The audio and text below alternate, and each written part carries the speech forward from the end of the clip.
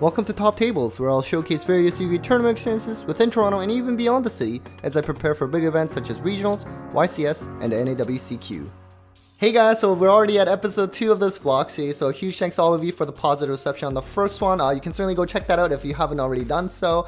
Anyways, Maze of Millennia, it is finally out, and this set has been pretty crazy in terms of the pre-order prices for bonfires, uh, but we do have a chance to win some packs today at the tournament hosted by Game Shack, which is the store that uh, we're going to be covering in today's vlog. So this is a store that's near Yorkdale Mall. It's an incredible environment. Uh, Mike and Bennett who work there are absolutely amazing. They've even set up a separate table for me uh, to be able to to record like my matches for this vlog, which is awesome. Uh, now, so I, I do find this locals uh, is mostly rogue deck. So admittedly, in the past few times that I've been there, I've done quite quite well. And so hopefully, let's uh, let's hope that streak continues. And the great thing with weekend tournaments is that there's just so much time to do other chores before the event starts. You know, clean the house, get groceries, workout. Uh, and actually, speaking of that, I heard that the uh, more reps you do, uh, the better you can play through a hand trap. So let's just stay healthy, friends. Anyways, uh, in terms of my actual deck list, not much has changed since I brought it on my channel a couple of weeks ago when I finished top 8 at the remote regional uh, for Branded Despia. I really just took out an allure, put in Branded in High Spirits because I really do love that card. I also added in a couple bells uh, in the side uh, just because of like Fire King and whatnot. So anyways, that being said, let's just get ready for locals.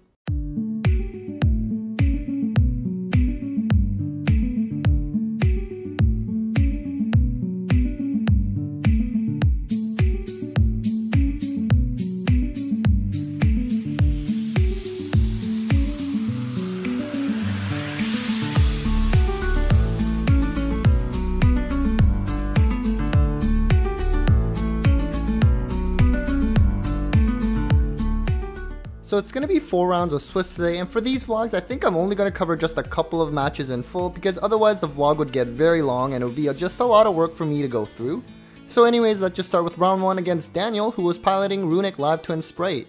Alright, so we do win the roll, fortunately. So we do get to go first. We're gonna uh, start off with the Fusion Deployment Reveal Granule, summon out the Cartesia. We have access to a uh, straightforward way to Gimmick Lock at least uh, Branded Opening to get the uh, Loober because you basically need Cartesia Summon and Branded Fusion. Uh, it's kind of the easiest way. Uh, Branded Fusion, fortunately, we are not Ashed here, so we're gonna dump the Albaz and the Lubellion to summon the Albion Dragon. And we're also gonna chain Cartesia here uh, to make the Granule and then make the Sanctifier, which I actually kind of forgot to do, but we do fix that right away. so I kind of like to do it this way for game ones just because I don't know what my opponent's playing I want to make sure maybe I sa save the Branded Red for a Guardian Chimera play instead of trying to make it on the Sanctify on the opponent's turn where it might not work out. Um, opponent, uh, now that I do know he's playing Runic, which I've played him before, and then I was aware that he was playing Droplets the last time I faced this deck uh, when he was uh, piloting it, so I, I've decided to actually just play the Branded Red here to kind of force out that Droplet, otherwise with the loss interaction, he's not going to to respond otherwise, and he would have needed a monster to be able to make sure. Uh, and so, uh, you know, I normally like to save that red again uh, for the Guardian Chimera play, but this time I decided, you know what,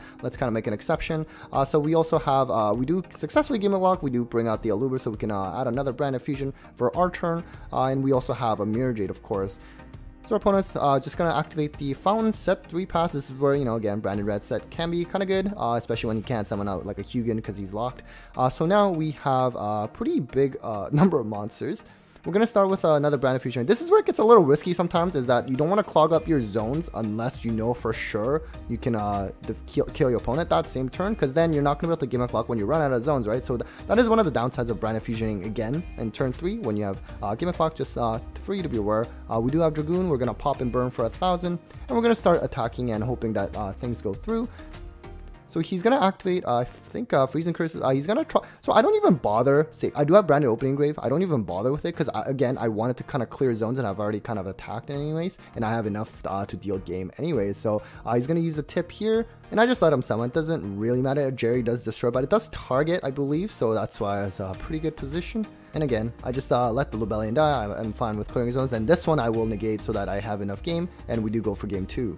All right, so game two, we're obviously going second. My hand uh, could have been better, but still also good. It was more like I kind of sequenced things wrong. I had something like Ash, uh, Droll, uh, had an Albaz, and Thrust, which I needed to get it live to get access to Brand Fusion. I also had a Cosmic, and you're going to see me kind of uh, kind of overshoot it in terms of thinking process. I definitely could have done it better. Anyways, he's going to do his like, you know, Runic, Live Twin uh, combo stuff. And he's going to add the Fountain off Hugin. And we are going to draw here. Which is pretty good, honestly, against like Live Twin uh, slash Runic decks in general. Gigantic Sprite Summon, of course, we're going to Ash that as well. That's another pretty good hit there. Uh, opponent's going to go into the uh, pink Link 2 uh, bring back, and then go into the blue one. And then blue will bring back the other pink link too, which normally he'd be able to draw, but obviously under draw cannot do that. Uh, gonna go into another pink. Uh, actually found set one pass. So I bluff a battle phase, hoping that he would activate the link to effect so that I can get the thrust live. Uh, and then, so that was kind of my one first mistake. The other is I did eventually uh, snipe the set because I thought it'd be impermanent. I wanted the Albaz's effect to really go through. The problem was it was actually a runic spell, so he gets to, you know, draw two, which really Sucks because I should have just went for even if it was Imperm, I should have just summoned the Albaz. Uh, because if it negates it, I just tried to go uh, battle, assuming, you know, again, if I didn't buff that battle phase, then he would probably activate the link to effect and I get the thrust live and I could just uh, kind of go from there. But unfortunately, I did uh, miss sequence that, so we're going to go into game three. So we're going to go into game 3, obviously I'm going to go first. We're actually just going to start off with the uh, Aluber summon just to add Brand Fusion. I did have also opening, um, so I could have actually done that first to maybe bait an Imperm on Quem as well. Uh, so now we're going to bring out the Quem now and then we'll just dump the uh, Cartesia. Uh, next we'll go Brand Fusion, it does get Ash, but we do have uh, Nadir Servant, uh, which is, uh, this is where Maximus can be uh, quite deadly um, in situations like these especially. So we're going to dump, unfortunately we are going to have to dump the Lulu though, we cannot dump the Garura unfortunately because we actually, I believe, hard drew the Maximus. I should have pitch the Maximus off opening. That I remember was the misplay because Guru is only 1500 attack. You can only add basically uh, Quem or Maximus, uh, which is like, you know, 1500. And so uh, if I had just pitched Maximus off the branded opening, you can actually add from Grave as well. So we're going to dump a couple cards from the extra deck. Uh, so we are uh, in a pretty good shape. We're obviously locked out of the extra deck uh, after playing Nadir Servant. So that's why we're kind of stuck in this kind of weird position here. But he's going to go into Hugin. I believe this is before the main phase because obviously with Cartesia, we can start triggering that. He's going to go Jet at, uh, we are going to just trigger the uh, here, uh, go into Granule, and then he's going to add off of the Jet first, and he's going to get the starter. We're going to go Granule effect to dump. Uh, I believe we were also triggering Quem to bring the Albaz, and he does have that droplets I was talking to you about earlier. So he's going to negate, I believe, Quem and the Granule. So now he's going to summon out the blue, add the Carrot, and on res, I do have the Rindbrumm that I sent off of Maximus the turn before. We're going to go Albaz, uh, bring that back uh, to go into Mirror Jade.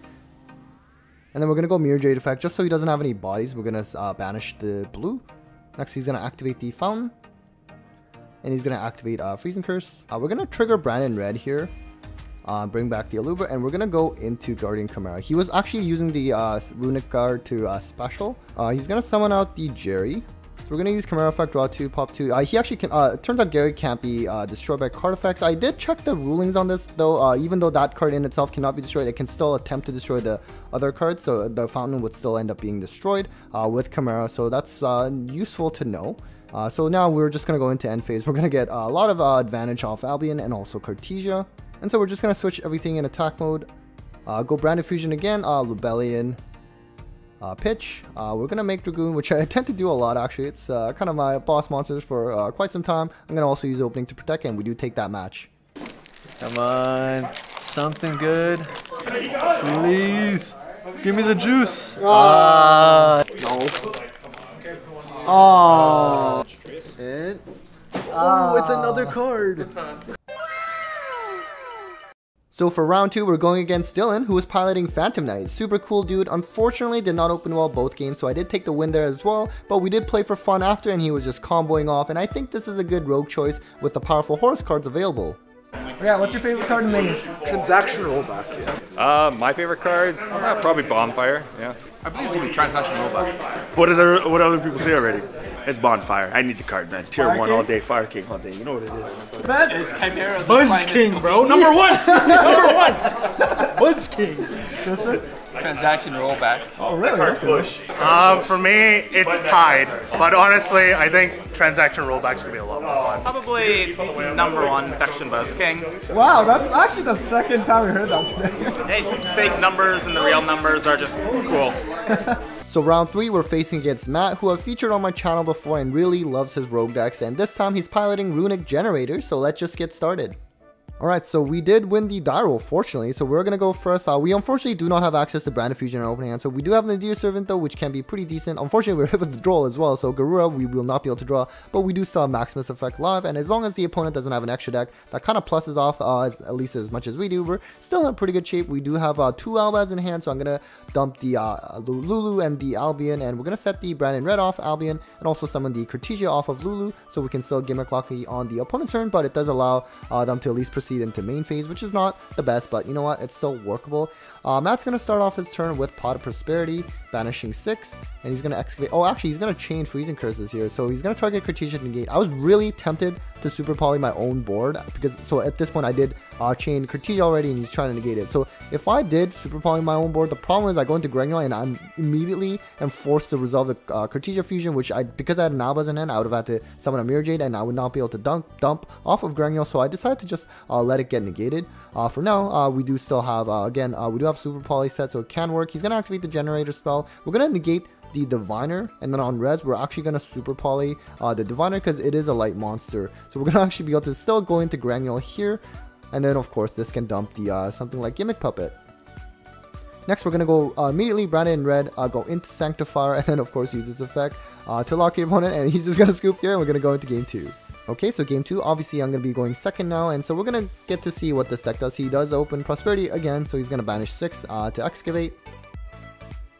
And looks like he has mostly comic pieces on one hand, which I was like, okay, at least he didn't draw some kind of floodgate, although it could mean that he just hard opened the floodgate instead. He's going to start with the Diviner again, uh, sending the uh, Trias. I believe that like provides some form of, you know, pop and like a draw, depending on how many like fairies you tribute, I believe.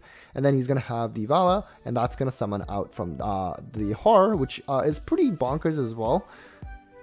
So next he's going to summon out that Trias. Uh, the Diviner effect triggers as well. Uh, and then summons the Consecrated Light, which is crazy. I guess it's a pretty good side option. Basically, uh, cannot special summon uh, Dark Monsters, and also I believe it cannot be uh, destroyed by battle with Dark Monsters as well. So uh, against Branded, you know, like we do have a lot of Light Monsters, sure, but like we do also need to rely on our Darks as well. So this is going to be really uh, difficult, and the Xyz uh, generator can also tag out for like the other bigger Xyz that like just sucks up cards basically. Uh, we were kind of forced with like uh, only summoning light monsters, obviously, uh, because we can't summon dark. Uh, we have Cartesia effect that we're trying to trigger here. So I, do, I did think about going to Sanctifier, but I mean, I figured, you know what, it's probably just going to get eaten up by that uh, Generator Xyz. Like, going to Granule to at least dump something. And we're going to summon, uh, dump the Albion, rather. And then I decided to just uh, Brand Fusion, but then I'm hit by a summon them, which is crazy. So I try to attack into the Consecrated Light. He's going to tag out for the, the Snake guy, and then of course it's going to start sucking things up. Uh, so he does get the Cartesia and the Granule as well. We're just going to set a card. Uh, and then we're just going to scoop because there's no way I'm playing through this.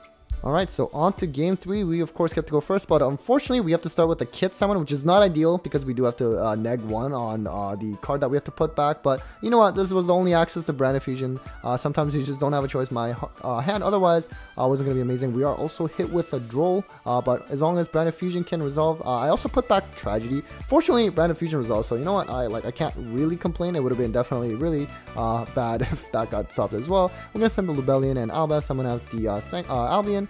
Uh, we're going to go into Lubellion, of course, summon the Mirror. We're also going to summon the Lubellion, except we are hit with the Nibiru. Uh, so at this point, I'm uh, kind of forced to trigger Mirror before it dies. Uh, just a last hurrah. I'm also going to trigger the Mirror so that uh, Nibiru dies in the end phase, which can actually be relevant. We do have Thrust, though, so we can uh, set the Fusion duplication to still try to play through on the next turn.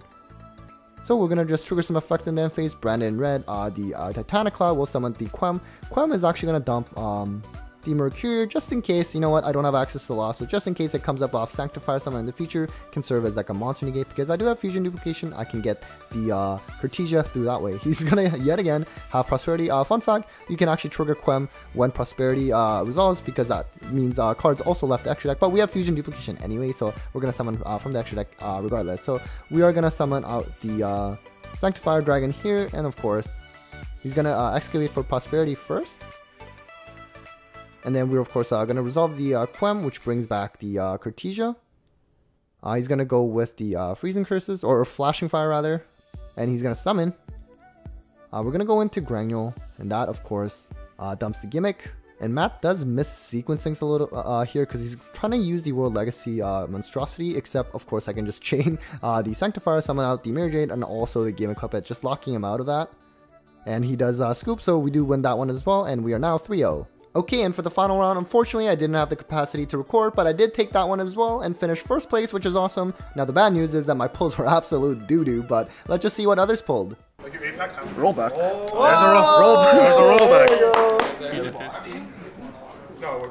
CR? Spell?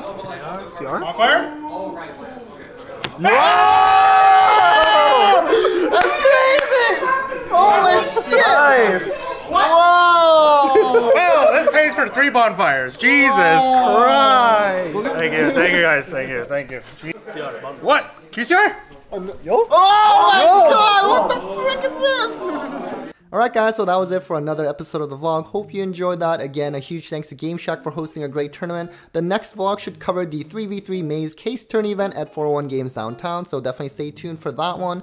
Also, I want to congratulate Jason again for uh, pulling absolutely insane. We actually also did a virtual world deck profile because he finished third, so you can go check that out as well. Also, in my last vlog, I saw some comments about people considering, you know, going to their first locals, and if you're in that situation, I really do highly encourage you to check it out. I remember for my very first locals, you know, I was quite nervous because I didn't know anyone there, but at the same time, you know, you can make some great friends real quick, and in terms of getting better at Yu-Gi-Oh! competitive-wise, you know, it's gonna take some time. You're probably not gonna do very well for the first couple locals at least, uh, but you know, you will eventually get there if you put in the time in. It's gonna be great. Uh, so if even one of you watching uh, decides to go to locals uh, because of this, then I've already done my job and I'm really happy with that. So anyways, again, a huge thanks to all of you for watching. A big thanks to my patrons, uh, as always, for the contingent support and well, take care guys.